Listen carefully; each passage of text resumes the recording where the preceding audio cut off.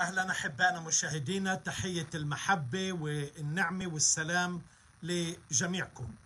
اليوم راح أتكلم عن ما الذي يميز معجزات المسيح. دائما بنسمع معجزات كثيرة من هنا آه، وهناك وطبعا أغلب وأكثر المعجزات نسمعها عن شخص الرب يسوع المسيح الحي اللي ما زال يعمل المعجزات حتى يومنا هذا. والغرض من هذا طبعا التأمل البسيط مش أتكلم عن الأسماء المعجزات وكم من المعجزات لكن أنا عاوز أقول بعض الأشياء اللي بيميز معجزات المسيح املا إنه فعلا تقرأ الإنجيل المقدس العهد الجديد وتشوف كم الهائل من المعجزات اللي أجراها الرب يسوع المسيح في خلال ثلاث سنوات. خلال ثلاث سنوات فعل معجزات لم يفعلها أحد. خلينا أحكي عن إيه اللي بيميز هذه المعجزات. هذه المعجزات تحدت قوانين الفيزياء. هذه المعجزات تحدت قوانين الكيمياء. هذه المعجزات تحدت قوانين الجاذبية. هذه المعجزات خارقة جدا. معجزات إيمان معجزات كل أنواع الشفاءات. معجزات غفران غفر الخطايا. هذه المعجزات تعبر انه المسيح هو مصدر الحياة. مش بس تخطى الفيزياء والكيمياء والجاذبية اخترق الجدران المغلقة. هذه المعجزات كانت أمام الجميع. كانت علنية كانت بمرأى جميع الناس كانت فورية مباشرة. يعني ما في أي شك في أي معجزة. مولود أعمى فتح عينيه أمام الجميع.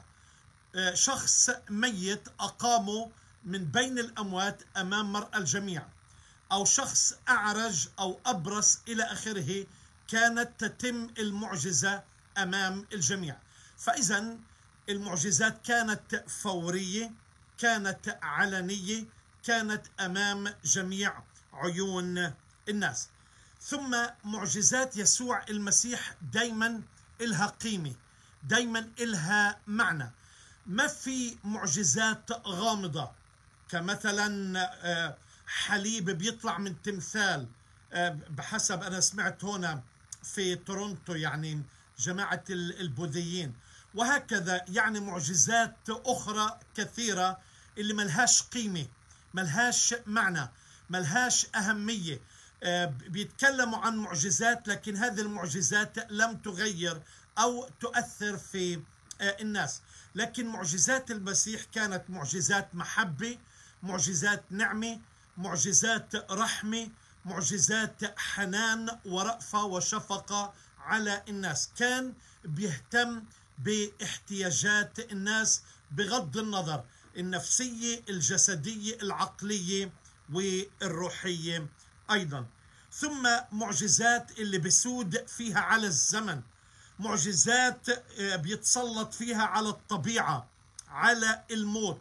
معجزات تظهر أنه هو الخبز الحي خبز الحياة.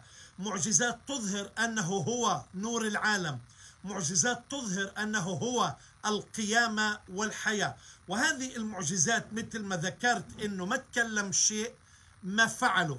فعل وتمم أقواله بأفعاله. هذا الشيء اللي بميز يسوع المسيح. ثم أحبائي معجزات على الشياطين على الجن على الأرواح الشريرة على السحر على العرافة. كل هذه القوات كانت تجرى باسم يسوع. وهذه المعجزات أيضا كانت الناس تشوفها بأم عيونها. كان عنده قوة على العالم الروحي عالم الشياطين. ثم كان عنده قوة على عالم الحيوان السمك الوفير اللي كان بيصطادوه التلاميذ حتما عنده السلطان والسيادة المطلقة الكاملة على الحيوان وعلى النبات وعلى الشياطين أيضا. معجزات متنوعة. معجزات متعددة جدا. طهر الأبرص آه، رد بصر الأعمى آه، معجزات خلق آه، شفى العرج أشبع الآلاف. هذه المعجزات مثل ما ذكرت كانت كثيرة العدد متنوعة. كان بيستخدم أحيانا اللمس وأحيانا كان بيتكلم كلمة وأحيانا معجزات بصمت بدون كلمة. كان يجري المعجزة. بوضع اليدين معجزات من بعد من مسافات. والشيء اللي بيميز هذه المعجزات إنه هذه المعجزات استمرت في حياة التلاميذ بعد صعود المسيح وإرسال الروح القدس. هذه المعجزات الكثيرة والمتعددة موجودة في الأناجيل. أنا بدعوك إنك تقرأ الكتاب المقدس فعلا مش عن تحيز وتشوف هذه الشخصية العظيمة. شخص بيخلق شخص بيغفر الخطايا شخص بيشفي من مسافات شخص بيتكلم بكلمة بدون ترديد كلمات أو يستعين بأي شيء. يقول للميت لك أقول قم. من هو هذا؟ الشخص الرائع الفذ الفريد.